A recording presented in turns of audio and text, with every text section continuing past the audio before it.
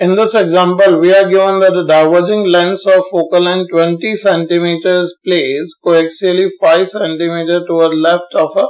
converging mirror of focal length 10 cm. And it is asking where would an object be placed toward left of the lens so that the real image is formed on object itself. Here we first draw the situation. We are given that a diverging lens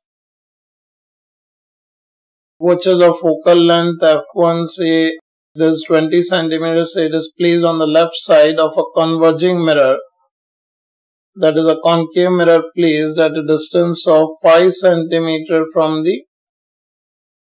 lens. Now in this situation we are required to find the position of object on the left side of the lens so that when light is incident onto it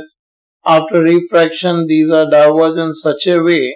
that these light rays must retrace their path, then only it is possible that finally the image will be produced on object itself. In this situation, the light rays which are incident on the lens will be refracted in such a way that uh, the first image due to refraction of lens must be produced at the center of curvature of this mirror then only the light rays will incident on the mirror normally and these are reflected as it is and according to reversibility of light image will be produced on object itself. And as we are given that the focal length of uh, mirror is 10 centimeter, we can directly write its radius of curvature will be 20 centimeters. So this point where the image is produced after refraction through the lens must be located at a distance of 20 centimeter from the lens. That means if this 5 centimeter, this distance must be